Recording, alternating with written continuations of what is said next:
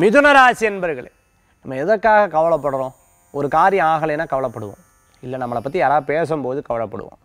இல்லை அந்த காரியம் நடக்கிறதுல நமக்கு திருப்தி இல்லைன்னா கவலைப்படுவோம். இந்த மாதிரி கவலைப்பட்டு அந்த காரியம் ஜெயிக்க போகிறதா கிடையாது. ஆனால் கவலை அப்படிங்கிறது உங்கள் உங்களுக்கு உண்டான உரிமை தான். தப்பே கிடையாது. நீங்கள் கவலைப்பட்டாலும் கொஞ்ச நேரத்தில் மாறி வந்துடுவீர்கள். அடுத்த செயல்பாடுகளில் செயல்பட்டுட்டேன்னா நிச்சயம் வெற்றி பெறக்கூடியதாக இருக்கும். ஏன்னா உங்கள் ராசிக்கு உண்டான சிறப்பை என்னென்னா உங்கள் ராசிக்கு உண்டான அதிபதி புதன் இந்த புதன் வந்து புத்திகாரகர்னு சொல்லுவார். நகைச்சுவையில் ரொம்ப சிரித்து பேசி மற்றவாளை சிரிக்க வைப்பேன். ஆனால் நீங்களே எல்லா விஷயங்களையும் மனசில் போட்டுப்பேன். இந்த மனசில் போட்டு போட்டு போட்டு போட்டு வைக்கிறது எப்போ டெலீட் பண்ணுறது எப்போ அதை எரேஸ் பண்ணுறது அந்த பயிற்சியை நம்ம முதல்ல எடுத்துக்கணும். அப்படி எடுத்துட்டேன்னா எல்லா விஷயங்களும் உங்களுக்கு ரொம்ப சுலபமாக போயிடும்.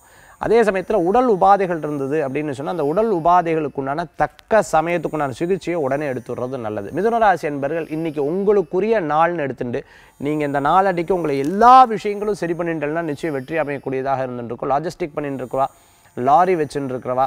அதே மாதிரி மணல் சம்மந்தமாக பண்ணிட்டு இருக்கவா சிமெண்ட் சம்மந்தமாக பண்ணிட்டு இருக்கிறவா பிரிக் சம்மந்தமாக பண்ணிட்டு இருக்கிறவாளுக்கும் நல்ல பயன்கள் உண்டு. அதிர்ஷ்டம் தரக்கூடிய அற்புதமான எண் ஒன்பது.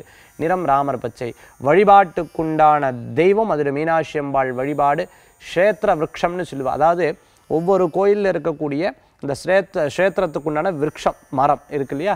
அங்கே உட்காந்து சித்த நேரம் தியானம் பண்ணிக்கிறது அமோகமான பலன்களை கொடுக்கக்கூடிய நாளாக இன்றைய தினம் உண்டு.